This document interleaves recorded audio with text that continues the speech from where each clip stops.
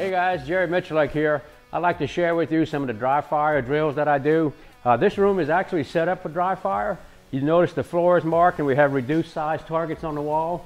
And what's really, really convenient about this setup, right behind this wall is a berm. So it's just, this room is totally safe to dry fire in, especially in this direction. So set up that way. First thing we're gonna do, guys, you're gonna check all your equipment. I've got three magazines on my person, no live ammunition anywhere. I like to work with a magazine in a gun. You can use a weighted mag if you like that simulation of the weight in the gun, which is not a bad idea. Of course, either dummy rounds or have just the weight in the magazine. First thing I'm gonna do is check, make sure there's no magazine and there's nothing in the chamber. I'm gonna do a visual. Of course, I can see in the chamber, nothing there, nothing in mag well, snap it out so I know that I'm good to go. So no, no ammunition, first of all.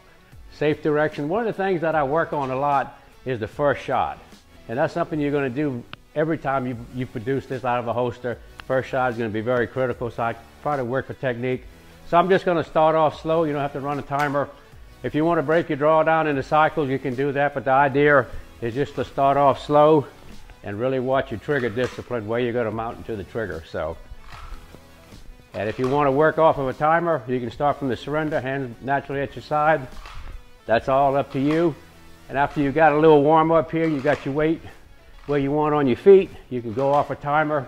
I've got this set at one second, so we're just to do a couple of runs.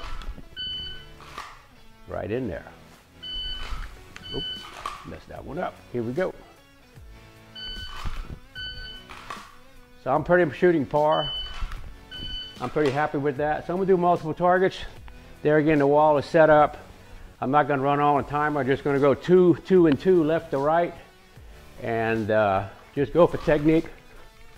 What I'm looking for is how to pivot on my feet, where my weight is when I wind up on the last targets. It's gonna be important.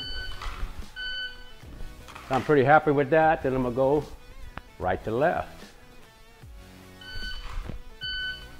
And what you want to do when you practice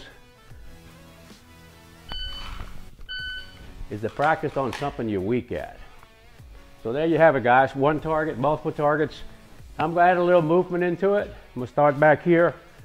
You can run off the timer. What I'm going to shoot and move at the same time. What I'm looking for here is foot placement and what I'm seeing on the dot.